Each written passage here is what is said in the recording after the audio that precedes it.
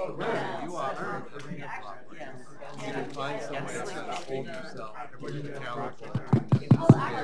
Okay, we're going to start. So um, I have the really awesome and somewhat perplexing privilege of introducing the, this amazing woman before us. And um, I've known Carol since she was here fleetingly uh, over a decade ago. And I, I guess I want to say before we get into all the, the myriad publications and accomplishments and that Carol Stabile is a force of nature and an inspiration. And really, I should just leave it there. I think I will.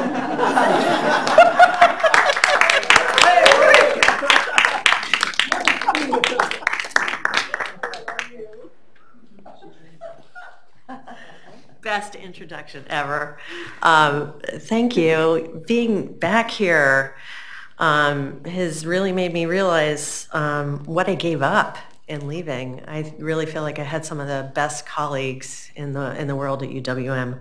Um, but instead of launching into my talk, um, I want to field a question um, from a graduate student that came up at the end of last session, and I want to do it so I don't forget.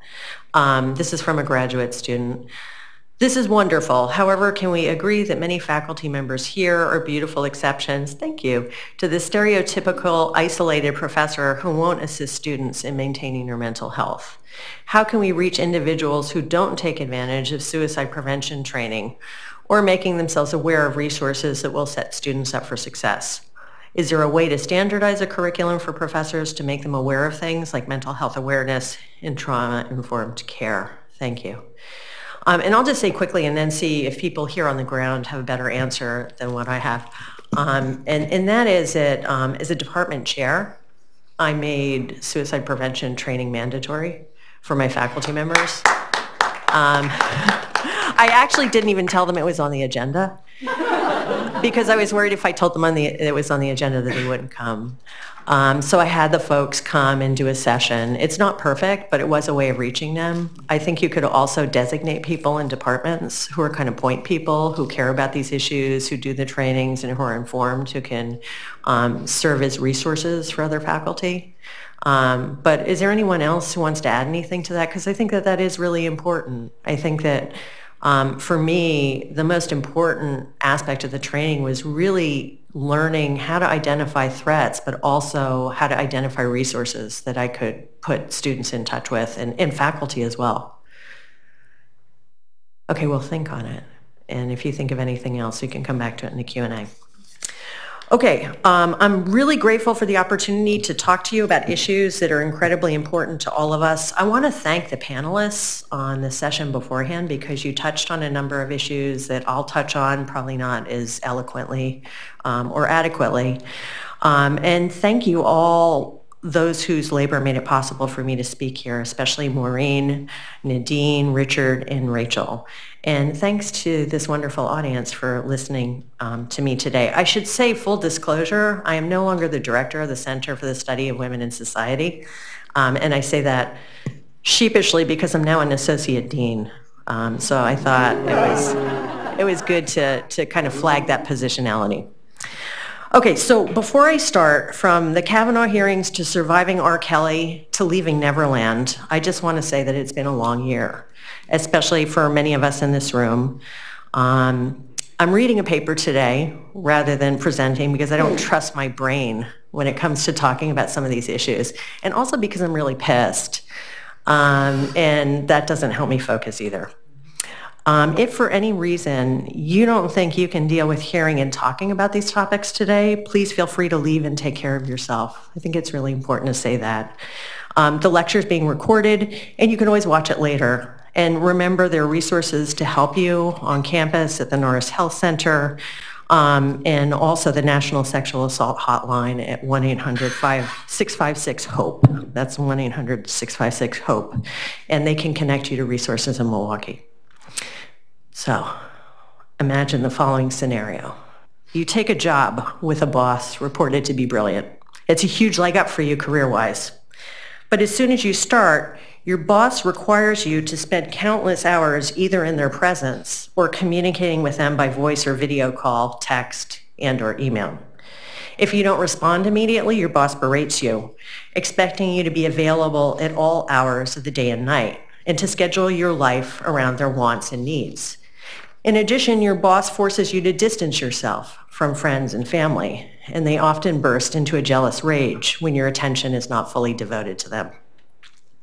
Knowing what to do in a situation like that is complicated, especially for workers just starting out in their careers who lack comparative experiences or don't have the resources necessary to extricate themselves and find another job.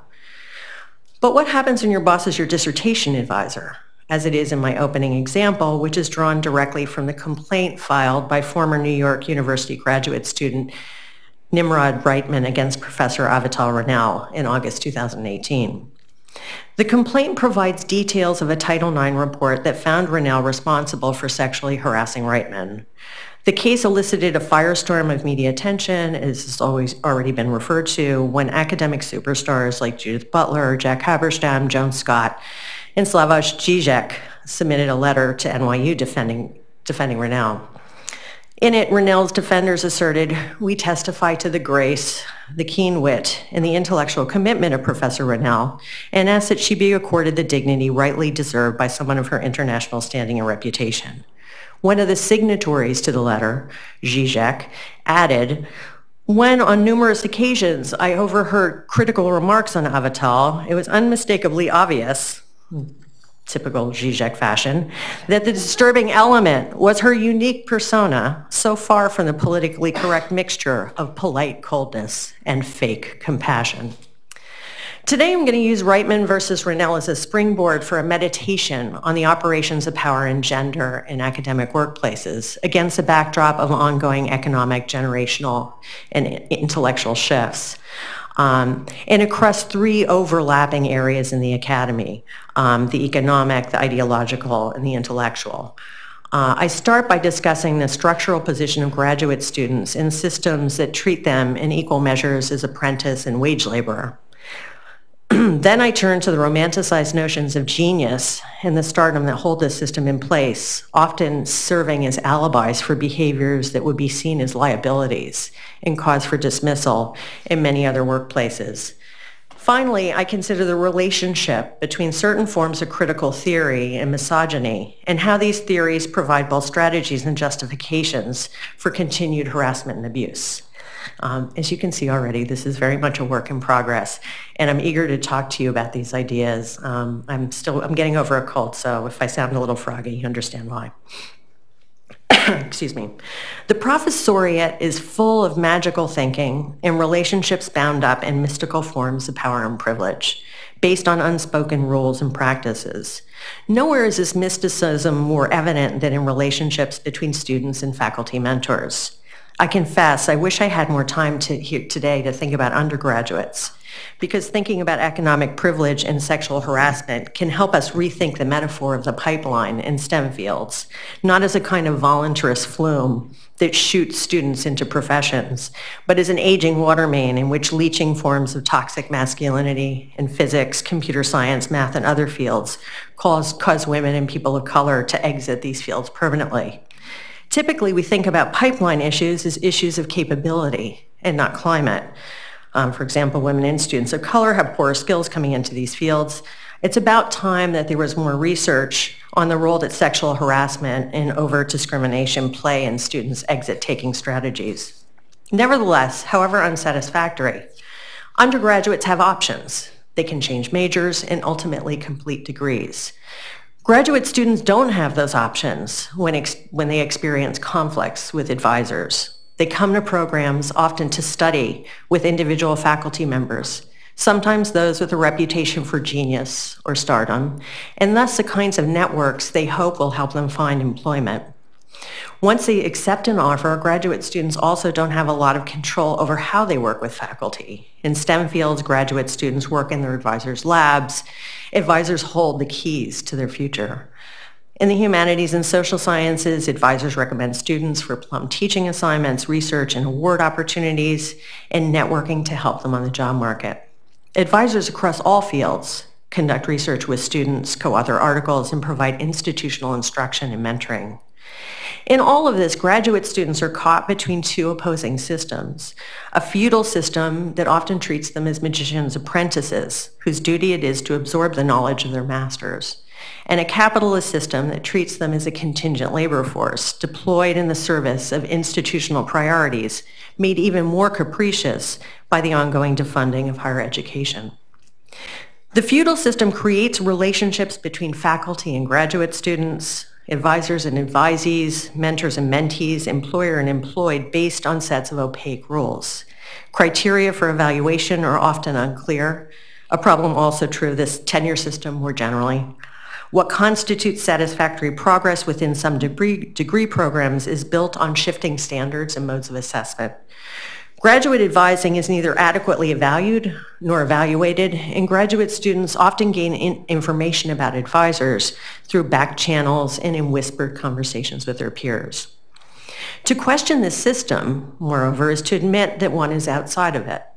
To complain about inequities is not only to perform one's exteriority, it's to confirm one's own exclusion in the eyes of those charged with evaluating one's performance and thus determining one's future.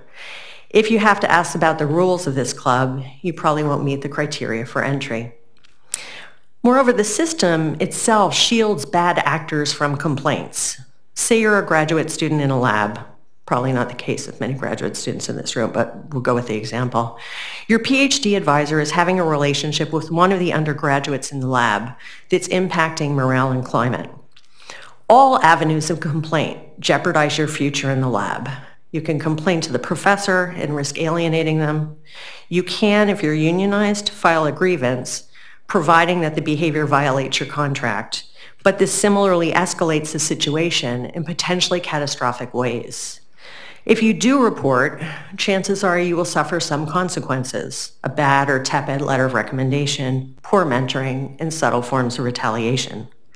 You can't go to another lab, moreover, because you've already been collecting data and you came to your institution to work with a faculty member with expertise in your very specific research area.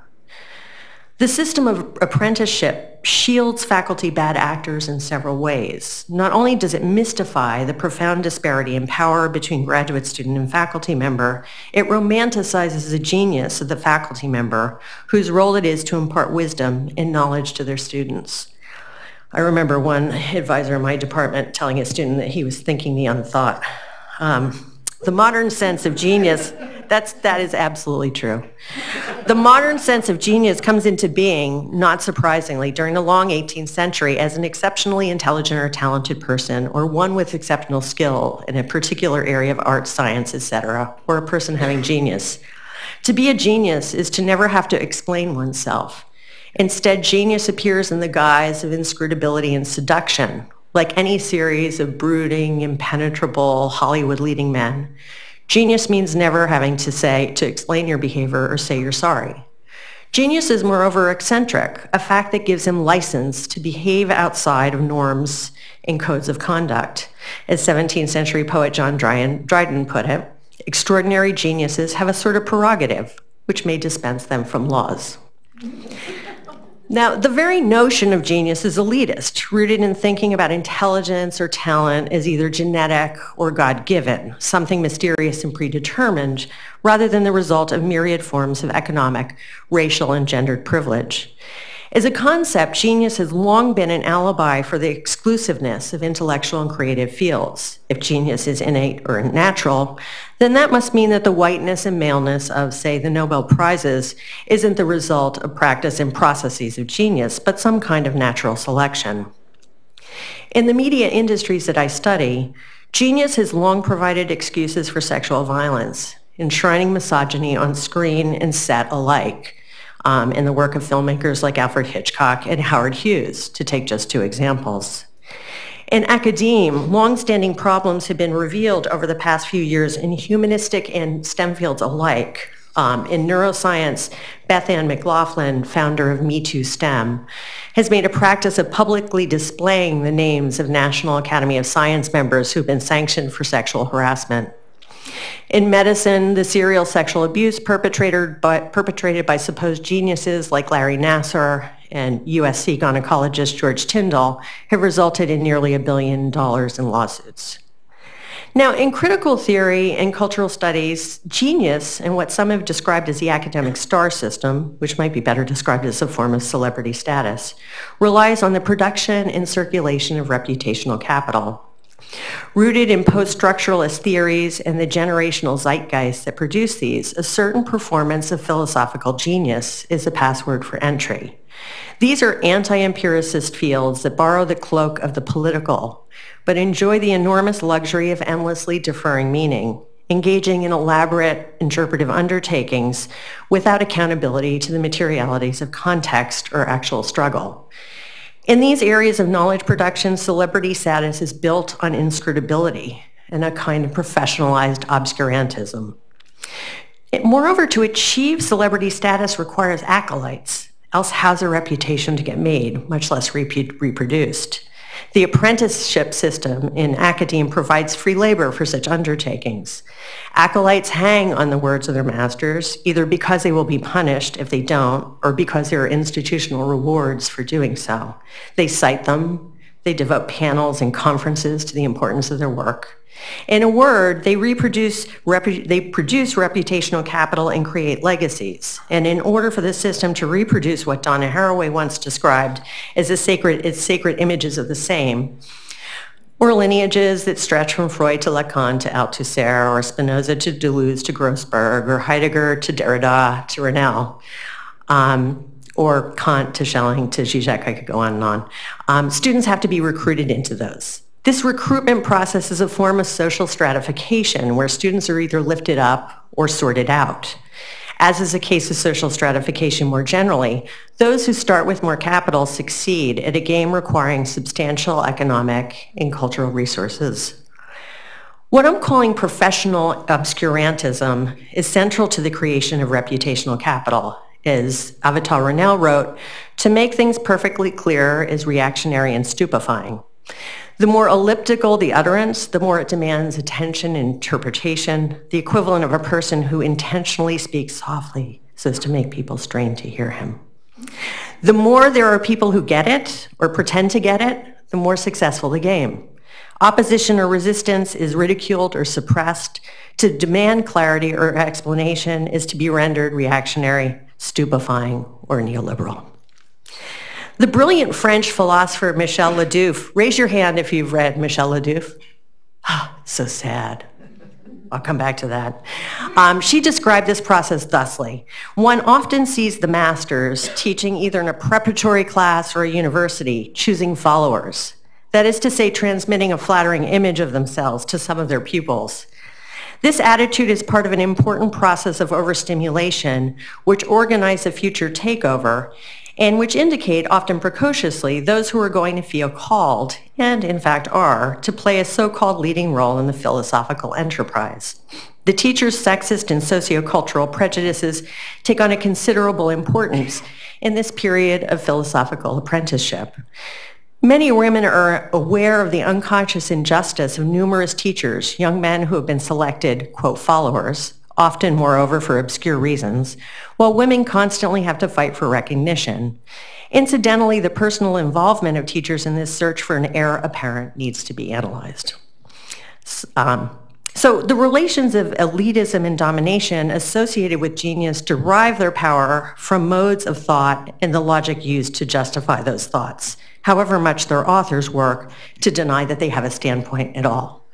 Um, in contrast, theories of standpoint and perspective forged between Marxist theory and various forms of feminist thought, black left feminism, Marxist feminism, French feminisms, insist that the material standpoint of producers shapes perspectives. Perspective thus is embedded in structures of logic and abstract thinking. Speaking of Martin Heidegger, Pierre Bourdieu advised us to, quote, abandon the opposition between a political reading of of in a philosophical reading of Heidegger's work. This opposition, he argues, allows for an alchemical transformation that protects the philosophical discourse from direct reduction to the class position of its producer. So where a political reading of Heidegger would see his Nazism as being rooted in his philosophical, philosophical framework, a philosophical reading would, in a more new critical style, alchemically transform his Nazism into mere veneer, peeling away his philosophical framework from its material conditions of production. I think a similar alchemical transformation protects theoretical discourses from being connected to the privileges enjoyed by their producers. There are reasons, for example, why Heidegger and Nietzsche are the favored philosophers of white supremacists and Marx is not or why psychoanalysis and androcentric French philosophy, from Freud to Jacques Lacan to Althusser to Zizek to Avital Ronell, have provided justification and strategies for sexual harassment in the academy, and the work of bell hooks and Michèle Le Dœuff is not. So I want to turn to an example and try to bring together the threads of my uneven um, meditation, this notion of apprenticeship in academe, genius and excuse for bad, its excuse for bad behavior, and this alchemical transformation that severs the connection between the producer of theory and the theory produced. Um, to talk about how they preserve the fundamental elitism and symbolic violence of systems of knowledge production and education. Excuse me. There is perhaps no better or more controversial example of how this alchemical transformation functions with regard to practices of abuse and exploitation than psychoanalysis. It's broadly accepted in psychology and psychiatry that Freud and Freudian psychoanalysis aren't just out of date. Freud, it turns out, could not have been more wrong about pretty much everything. I'll leave it to others to criticize the many scientific shortcomings of psychoanalysis. My point involves its epistemological foundations. As many of you know, the research that shaped Freud's theories of the psyche grew out of his work with female hysterics. At the time that Freud was conducting his research, there was much growing discussion of sexual violence in families, typically but not exclusively perpetrated by fathers or other male intimates. In the early 1890s, Freud was initially persuaded by his patient's testimony that the symptoms of trauma he was seeing in patients resulted from their having been sexually abused by family members or other trusted caretakers. But he quickly backed off this unfortunately named seduction theory, abandoning a theory based on observation for an interpretive approach that saw the unconscious as reflecting the fantasies of women and children rather than their actual experiences. Freud's need to believe that sexual violence was not endemic in families proved too powerful, so he adjusted his theory to accommodate his belief that fathers and not their victims were, be, were to be believed.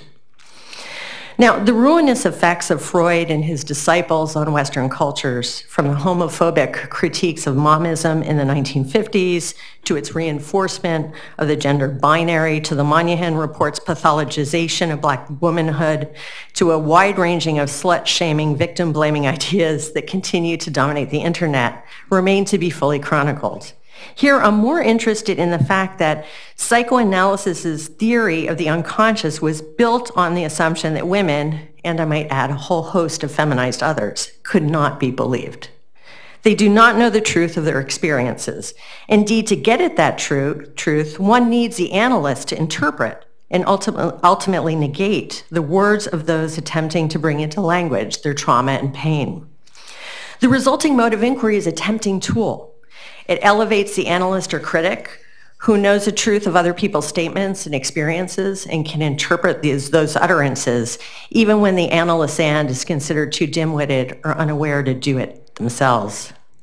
And in privileging the perspective of the virtuoso reader or critic, it also provides a rationale for discrediting challenges to its own interpretive authority.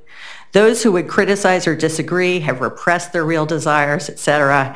Indeed, the analyst is God in this scenario, remote, objective, infinitely wise, and eminently believable, while those who are analyzed are rendered mute and illegible, their motives muddled and unbelievable. There's no final instance here, no place where the theoretical rubber meets the materialities of the road. just an interpretive loop predicated on a ceaseless deferral meaning. Now, the case of Avital Ronell illustrates a problem stemming from these intertwined cases, themes of apprenticeship genius and theoreticism. It's not the only such case. Um, it's the best known one, um, but there are many others, and I'm happy to talk about those in the Q&A. Um, a professor of psychoanalysis, continental philosophy, and high theory, Ronell had a stellar pedigree from elite institutions. She attended one of the oldest prep schools in the U.S. Excuse me. She graduated from Middlebury College. She got her PhD in German from Yale, or from Princeton. She studied in Paris after graduation, was fired from the University of Virginia, and then taught at UC Riverside and UC Berkeley before being hired by NYU in 1995. She reportedly charmed Jacques Derrida by introducing herself as metaphysics at a gathering in Paris. Um, peppered with references to Nietzsche, Heidegger, and Derrida, her work seemingly mesmerized faculty. That she was a woman writing about Nietzsche, Heidegger, and Derrida hinted at feminist credentials.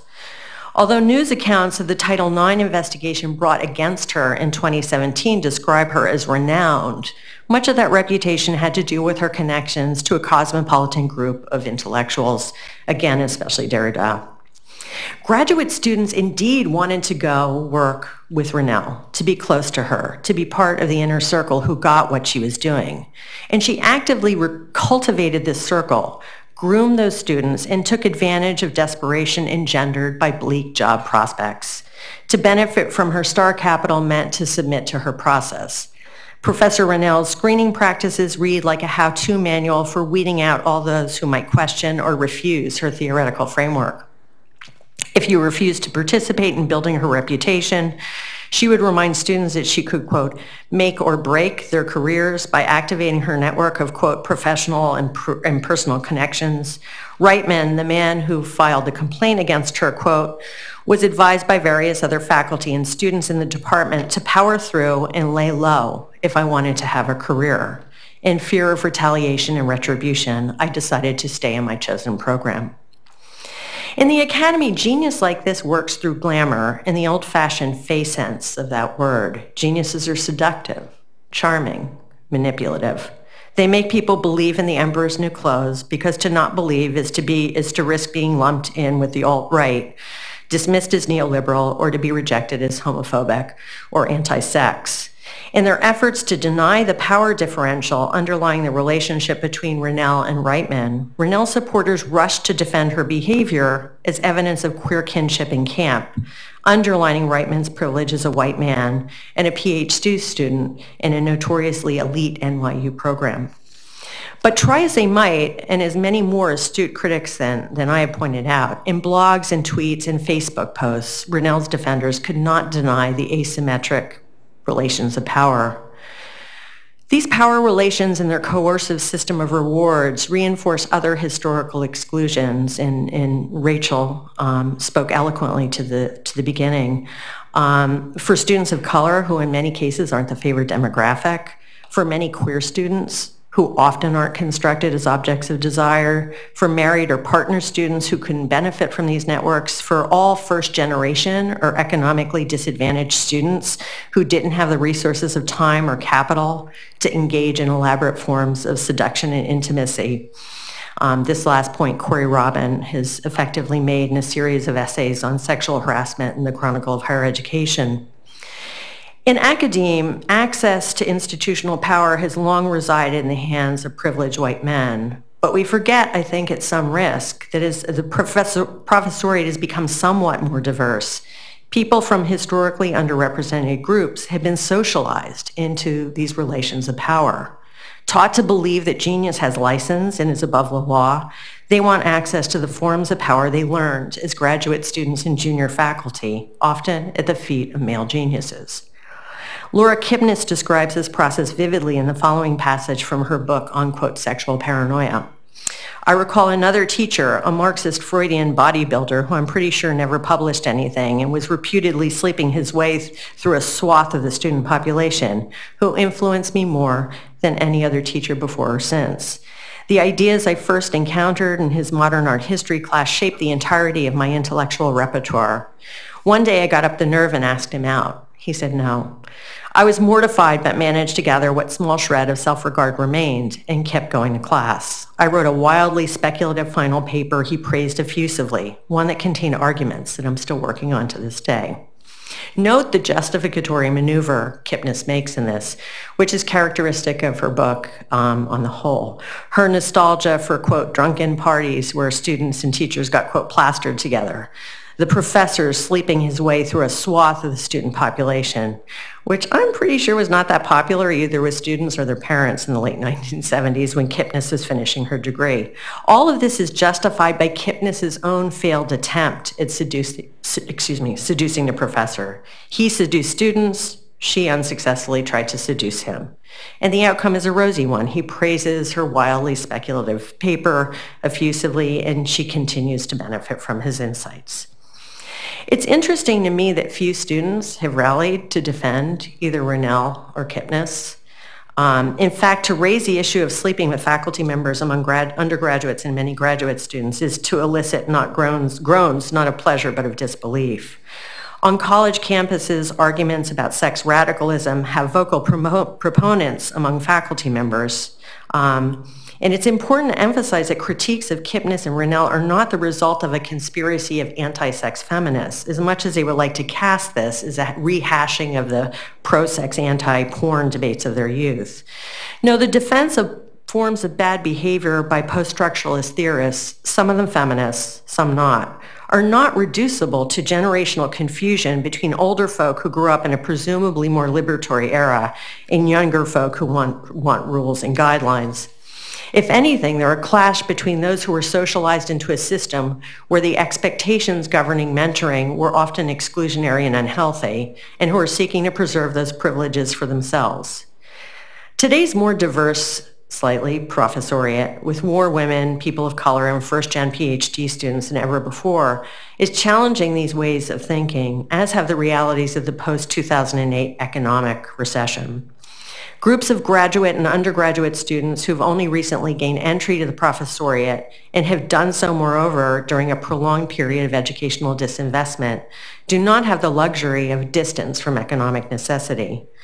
As Corey Robin points out, these students and the excellent faculty members who toil in public institutions um, to demystify the student, the system, and help their students succeed in a system where jobs are highly competitive and difficult to secure can ill afford to play games of romance and seduction. Despite discourses of their practitioners about the erotics of power, about lighthearted fun and play, about the mutuality of desire that they alone can diagnose, thinking about students as apprentices and ourselves as magical mentors, parental confessors, and intellectual stars masks inescapably and intransigently asymmetrical power relations.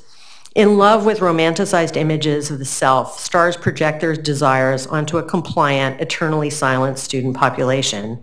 Notably absent in these discussions is a discussion of consent. It's funny that we spend so much time trying to teach undergraduates to understand consent, but none at all when it comes to adults, even when their understanding of consent is incomplete, antiquated, and coercive. But to talk about consent means to empower others and not pursue one's own desires. And it also shatters the illusion that critiques of faculty sexual harassment of graduate students emanates from an anti-sex radical position. In fact, kink and poly communities have a lot to teach us all about the nature of consent.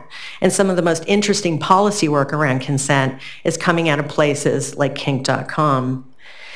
In the end, we're left with a contradiction. As feminist writer Katha Pollitt observed to Ronell, Ronell's work strikes me as a big bowl of word salad. But I understand that the general project of deconstruction is the analysis and dismantling of conscious and unconscious structures of power. How odd, then, that these professors could see domination operating everywhere except the one place they could actually do something about it, their own relations to students.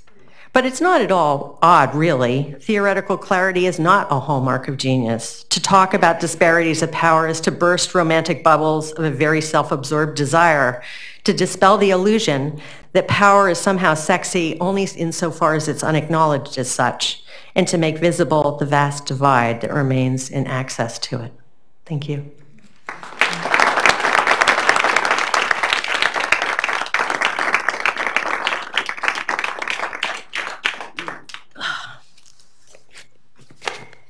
Did anyone have any revelations about the question before?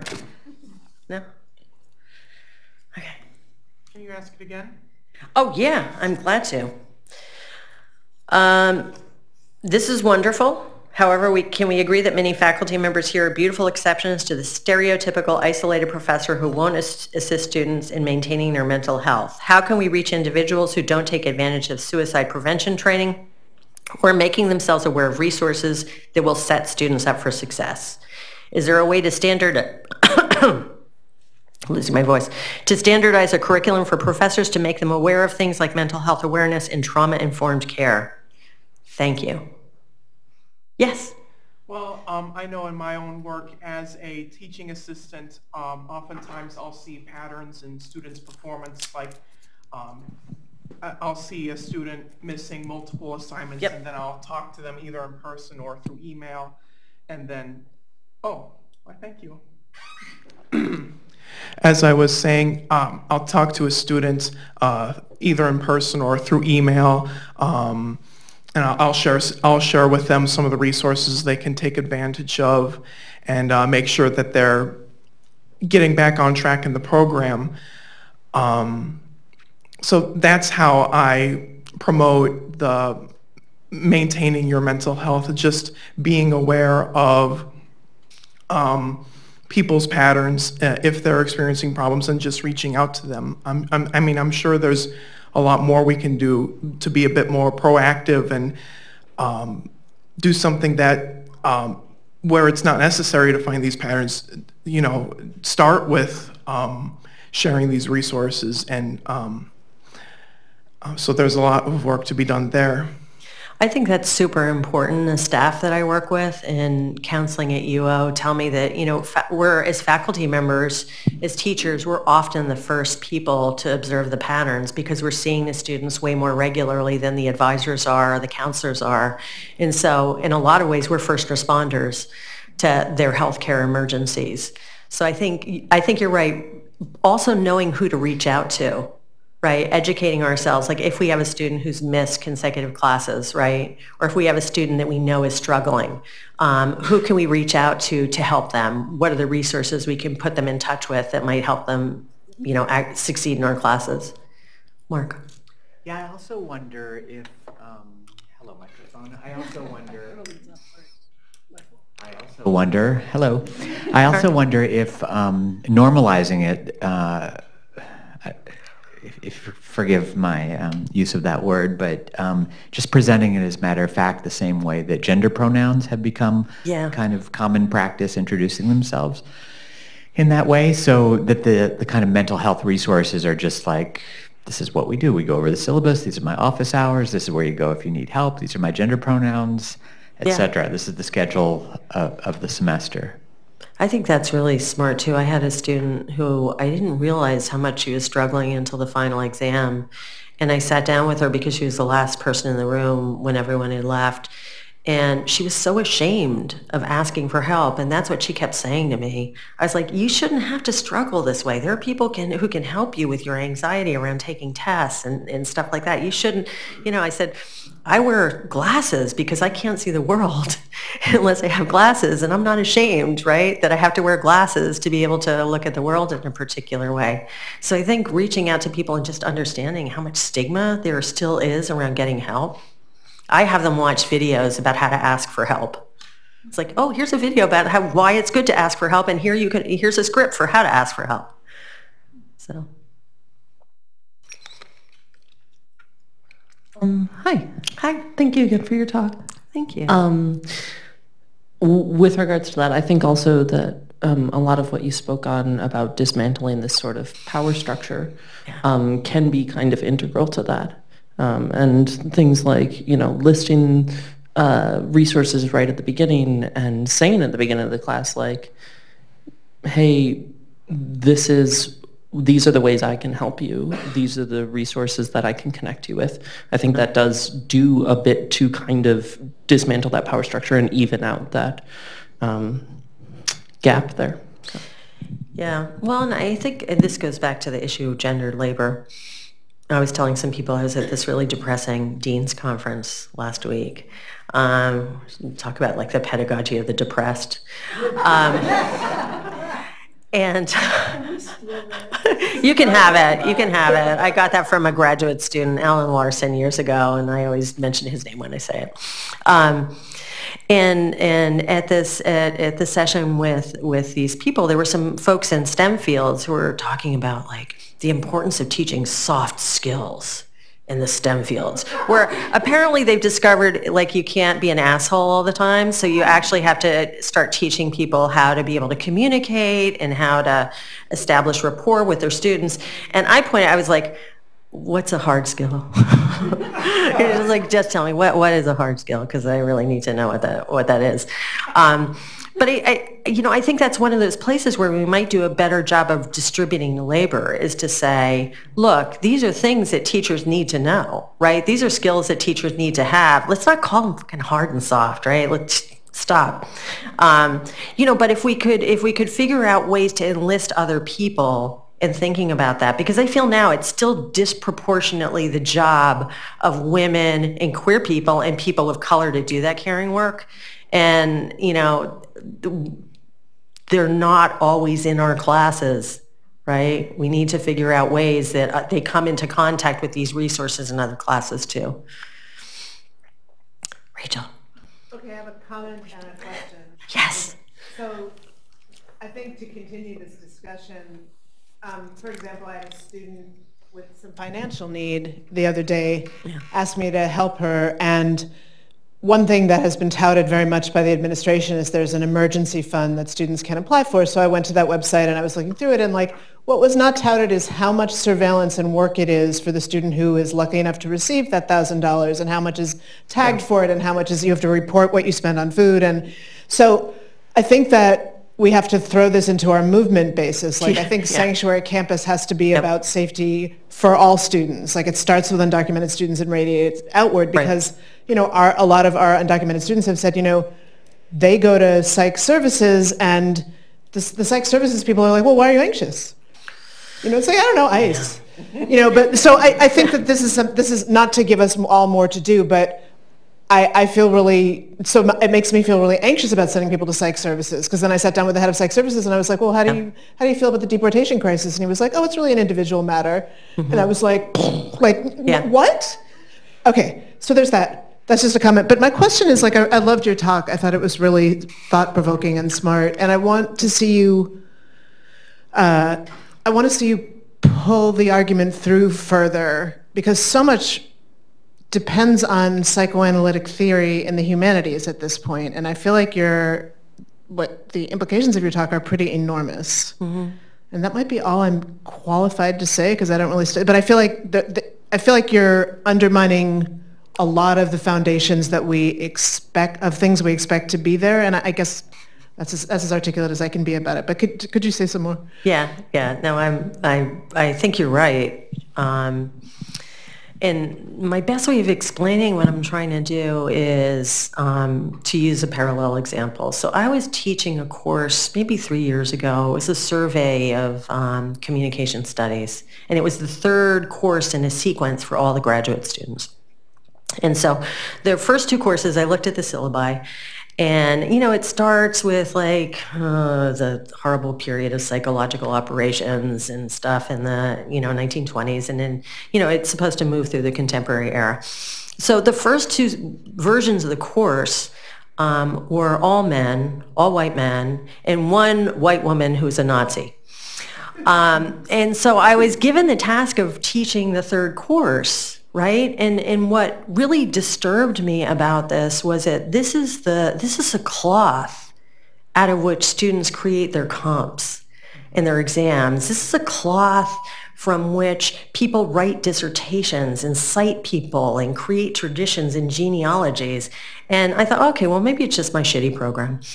And so I, I got online and started looking at, at grad syllabi for surveys in, in cultural studies and critical theory and realized that, oh my God, it's like, I, this is going to sound terrible. It's, it's like a lot of white guys until 1968. And then suddenly, you know, a few people of color and women appear after 1968 as if somehow they never were part of the historical stage before them. Um, so I really started thinking about these genealogies and um, the modes of thought they legitimize. And I thought a lot about Freud. You know, as you know, I just finished a, a book on the Cold War. And for me, thinking about what happened in 1950s America um, and the justification for that backlash against women, against people of color, against immigrants, so much of it was underwritten by Freudian modes of thought. And I thought, what does it mean for us as feminists and as scholars to be creating these genealogies that begin with this foundational moment that says women lie about their experiences, right? And, and then you just think about the whole sweep of it, right? Lacan, um, who is also a misogynist. Um, you think about Althusser, who strangled his wife, right? And you think about the ways in which, um, you know, misogyny and white supremacy are knit into the very foundations of those modes of thought.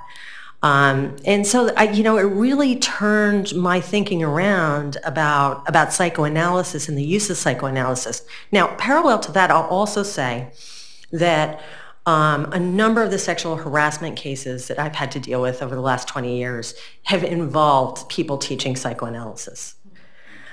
Um, one of them was really, really terrible. Um, it was a case, very, very charming, charming man. You know, nowadays it was, it, I remember one moment when um, I was I was railing against Greek life, and all the young men from Greek life came to this public hearing to criticize the feminists, and they were all dressed up, and they you know they had suits and ties on, and people were like, "Oh, they're so charming," and I was like, "Ted Bundy was charming too."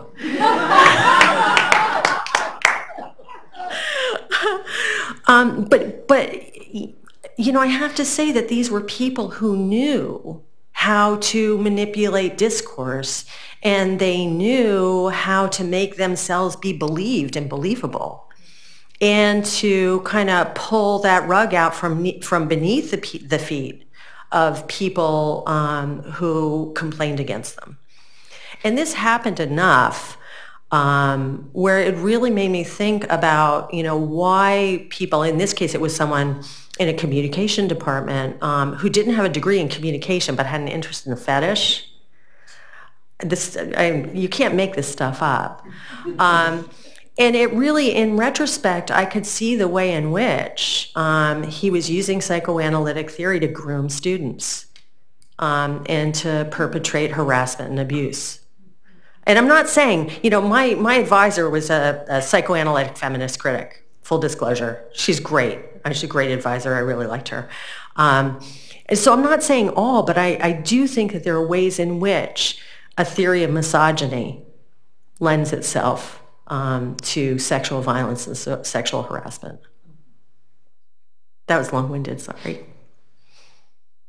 Yes? There's someone in the back.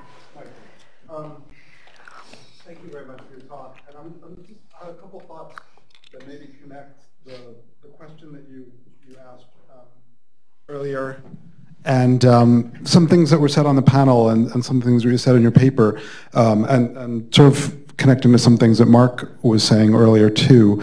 Um, all of this makes me think about my role in the classroom, our roles in the classroom, yeah. Um, and our kind of place in the pecking order, and, and, and in this case particularly how our students see us.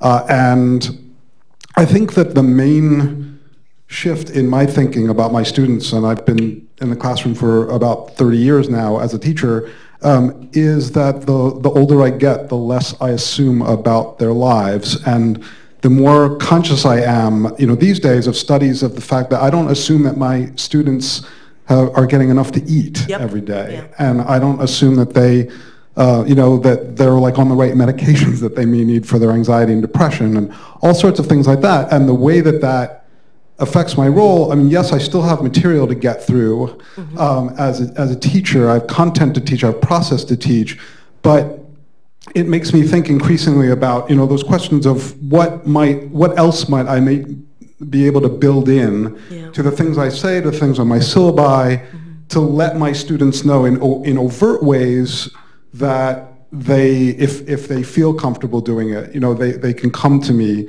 as a resource. They can know, they can maybe hope that I'm going to keep a confidence that I, I might be a resource outside the classroom. Mm-hmm. Um, and as you said, particularly because uh, I, I know that so much of this labor is very gendered, and they're probably more likely to do that with a, a female teacher, or maybe if they're a student of color with a, a professor of color, something like that. So just um, and, and, I, and I think then, then connects to those questions of sort of academic stardom uh, and those sorts of things because it, those raise questions of, you know, what, what matters about what we do? Does it matter that we have the fanciest degrees on our walls and that we have the nicest uh, letterhead? Or does it matter at the end of the day that we might have done something that kept a student from stepping in front of a bus?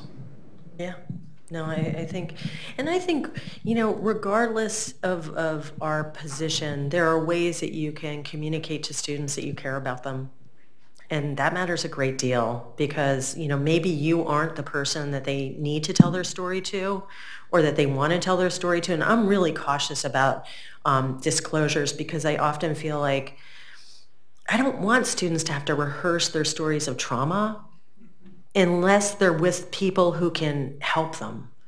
And I feel like sometimes faculty want to absorb those stories without realizing how much it costs students when they have to tell that fucking story again and again and again. And I've sat with those survivors. So I think that there are ways that you can flag on your syllabus, you know, this sense that, look, I'm a, I'm a resource. I really care about your success and I care um, about you as a person. This is really true of graduate students. Uh, Rachel hit on this when she was talking about self-care, right? It's just saying to graduate students, why are you working so hard? right? I mean, you need to be able to set boundaries and to decide what your work life is going to look like. Um, and you need to start doing that as a graduate student. Otherwise, the job will eat you alive, right? If you don't learn how to say, it's Shabbat, right? I can't do that. Um, yeah, yeah. so thank you. Yeah. wonder if you can say a little bit more about this um, alchemical, as, as you were calling alchemical it. transformation. Right, or yeah. the peeling away of the product and the, um, and the producer. Yeah. Like the, the theories and then the the theorizer, right? Um, and then connected to that, how you think those views say Nietzsche's or Heidegger's. Should we not teach them? Should we teach them?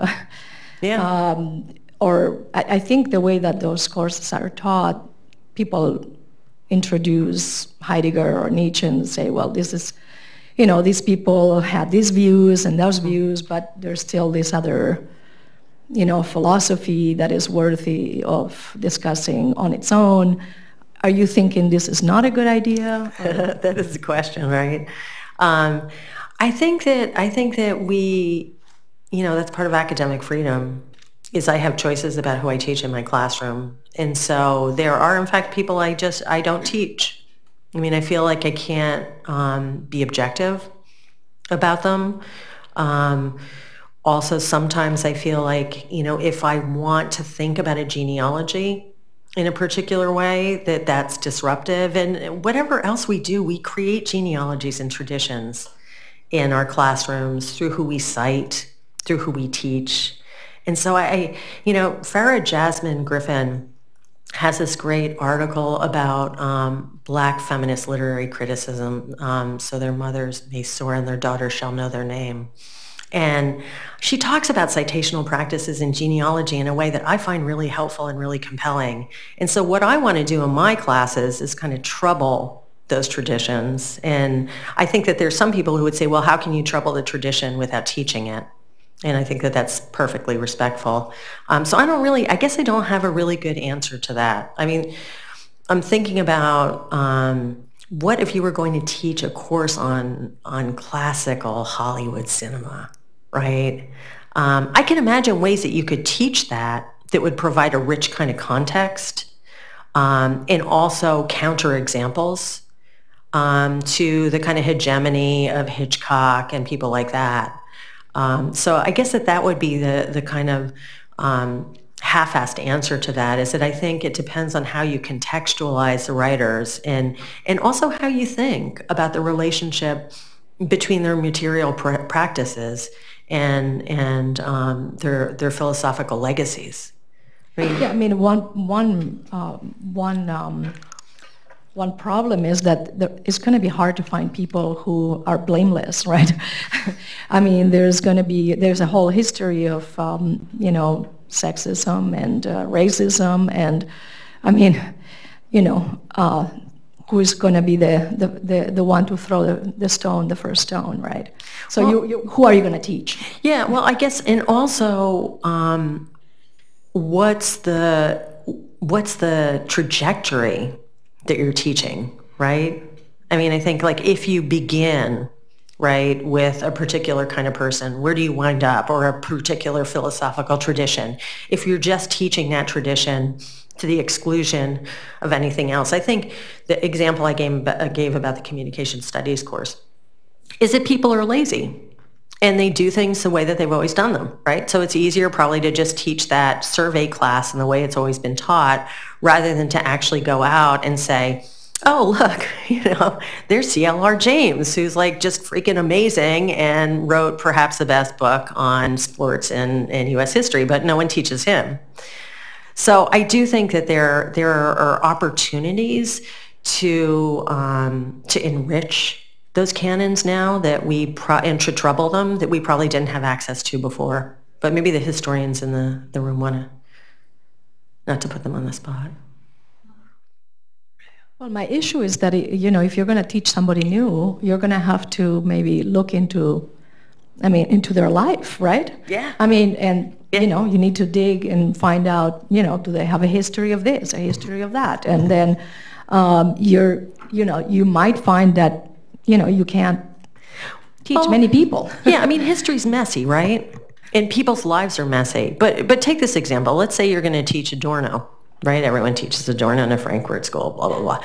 Um, does anyone really teach about Gretel Adorno and the role that she played in perhaps writing and curating Adorno's work and legacy? No, right? And that's that is something that you could totally do.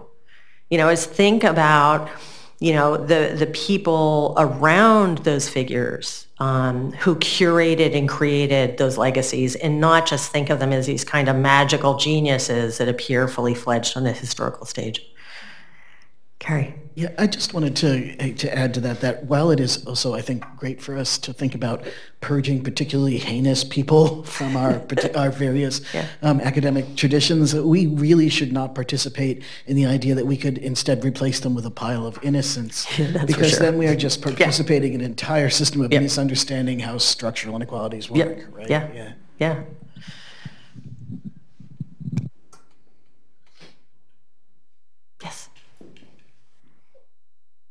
Yeah. I just, is this working? No. Which switch? This one? Yep. That one? So I have an, an anecdote and, and maybe something that follows from that. I've been teaching literary and critical theory for three decades, mm-hmm. uh, and I've been teaching the survey courses for a long, long time. And um, I also read Paulo Freire and think about um, how my students bring experiences that if you value and listen to can work through that material in a really different way. Mm-hmm. The last time I taught the survey course, the unit on psychoanalysis r- was a complete failure. Um, they were incredulous. They laughed. Um, they couldn't believe this stuff. Um, it was partly a generational thing. Yeah. I mean, I'm so shocked by how different, and Rachel referred to this earlier, how, how different 18, 19, and 20 year olds are now, yeah. how much more they know. Mm-hmm. But I think part of that comes from the fact that the Academy and parents and others have worked with young women, especially, on coming to voice. And um, we have now a, a literary canon about women's voices. And if you're trying to teach a, a literary theory class where you're emphasizing that topic, mm-hmm. it's really hard to teach also a unit of that, that silences. Now, I don't want to throw the baby out with the bathwater with psychoanalysis either, but I think if you teach it dialectically in relationship to materialist criticism and feminist criticism, you end up with something different. But ultimately, you know, you don't want to be involved in the banking style of education. You've got to be involved in this dialogue with the real experiences that students bring to the classroom every day.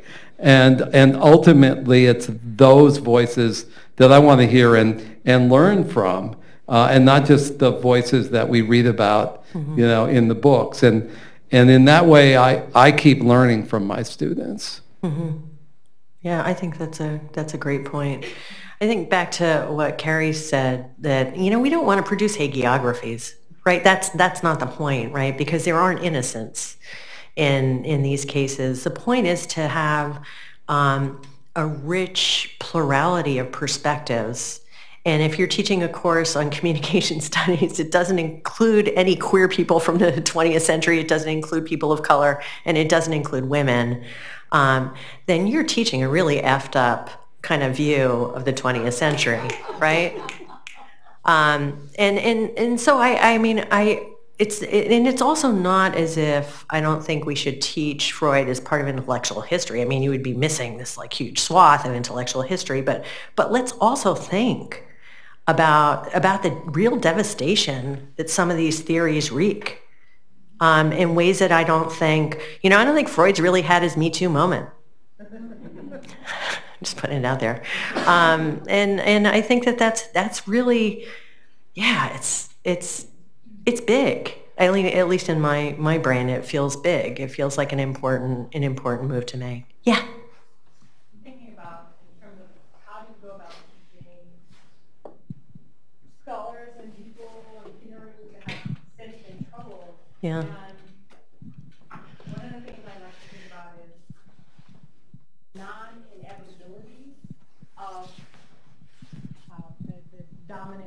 sometimes yes. take things as yeah. what has what has come yeah. to be yeah. as naturalized, like it was going to be this way. That just the way history was pushing us. Right. But then when we teach things, I like to think about. Okay, what were the alternatives that we had? Yep. Right, what were the debates that were happening? Mm-hmm. Not as like the results are inevitable, but right that there has been contestations. Right. There were choices that were made, right, so that people see the active engagement of different actors before some idea becomes solidified and part of, you know, what we take as normal. I love that idea of the non-inevitability, yeah. right?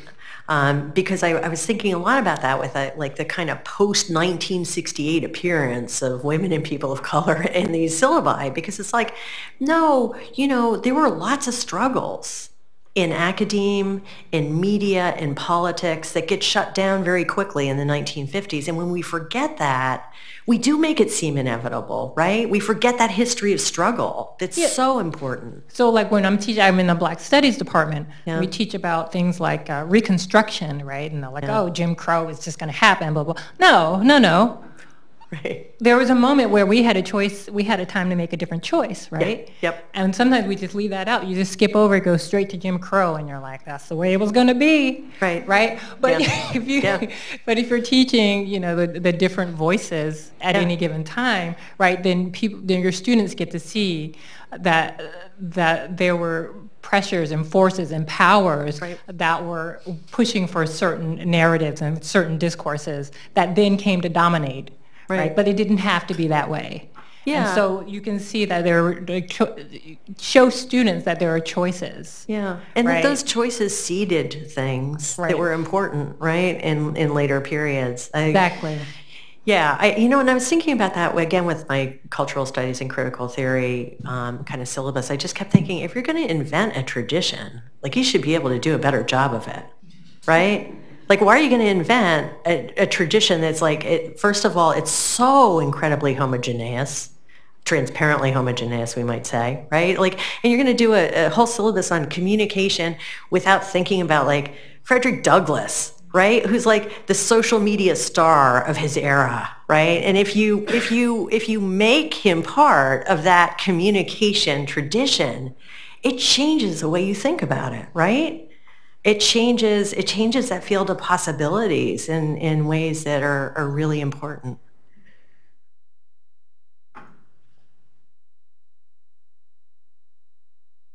Thank you, everyone. It seems like that's it. You're a great audience.